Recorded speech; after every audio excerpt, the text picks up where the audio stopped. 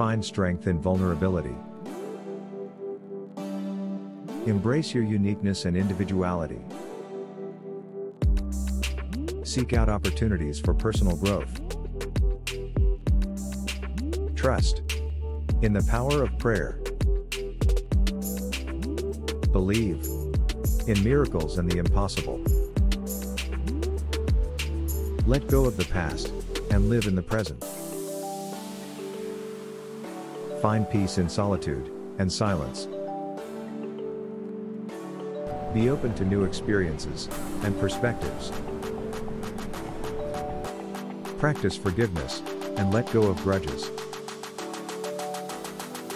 And trust in the goodness of humanity.